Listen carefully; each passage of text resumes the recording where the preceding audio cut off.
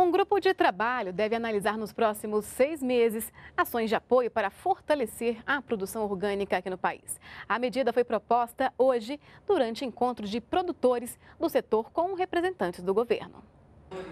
Sucos, pães integrais e queijo. Um café da manhã mais saudável, com alimentos cultivados sem o uso de agrotóxicos. Os produtores aproveitaram para falar dos avanços e das necessidades do setor.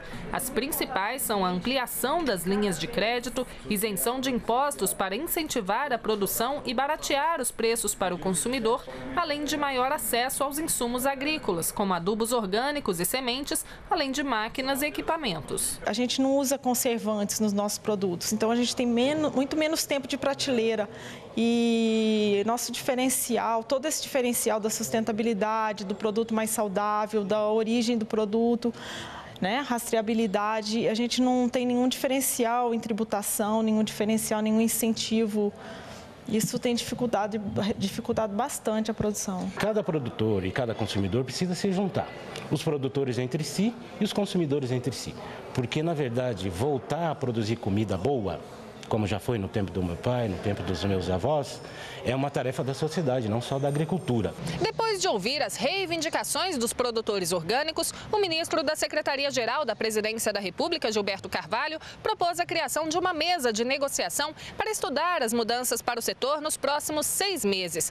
Vão participar desse grupo de trabalho representantes do governo federal, dos produtores orgânicos e de associações representativas de todo o país. De fato, nós temos que dar um salto de qualidade.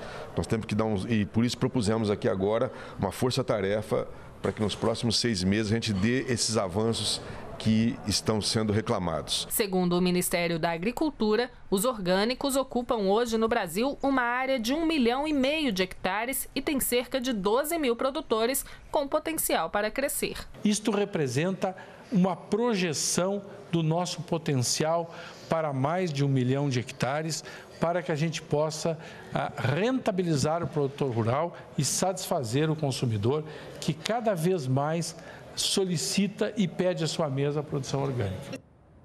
Para ser considerada orgânica, a produção deve ser sustentável e não utilizar nenhum tipo de agrotóxico, hormônio ou adubo químico. Para verificar a origem do alimento, basta o consumidor procurar pelo selo padrão de produto orgânico, válido para todo o território nacional.